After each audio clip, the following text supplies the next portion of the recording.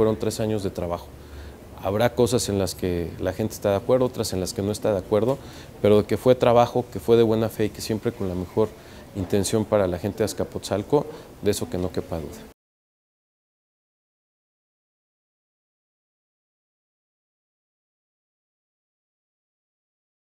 Cuando se trata de hacer un balance de la acción de gobierno, los más indicados son los, los vecinos, la gente que vive en la delegación, pero y los que usan la delegación, porque es una delegación en donde concentramos una zona industrial muy importante y todos los días tenemos gente que asiste ahí. Cumplimos con el programa que nos habíamos planteado.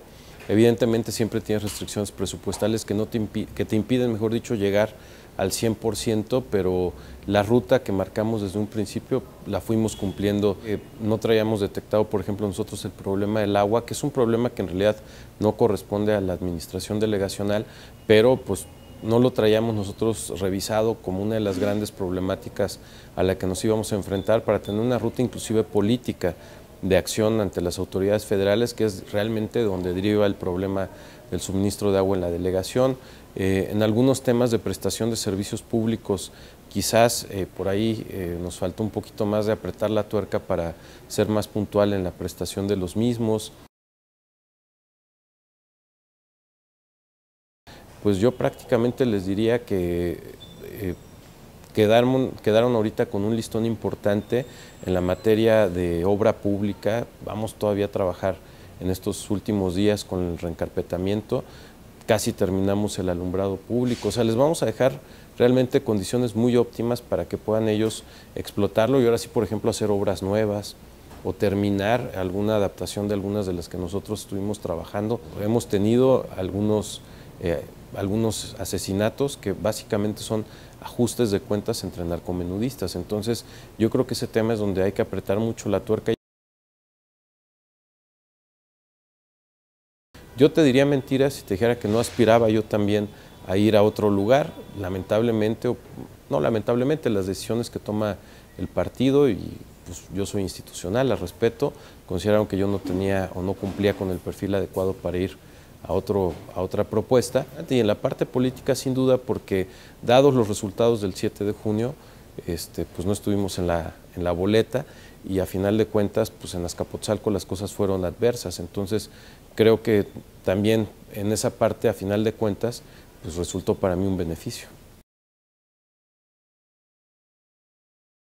En la parte política vamos a seguir en la lucha.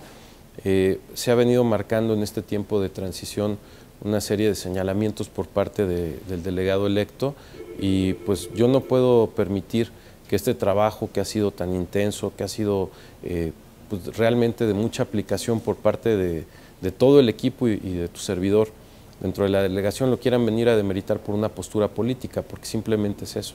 En lo profesional realmente no sé qué sigue, eh, yo estoy en la mejor disposición de colaborar donde pueda yo colaborar los gastos de mi casa, de mi familia dependen de mi trabajo y yo no puedo estar sin trabajar. Entonces, si no hay una invitación para colaborar dentro del gobierno, tendremos que buscar qué opciones vamos generando nosotros. Hemos hecho un equipo muy importante.